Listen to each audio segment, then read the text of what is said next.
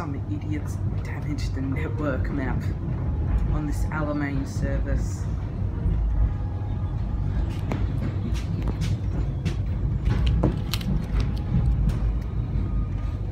Lol, I partly fixed it. What an idiot. They need to replace this now.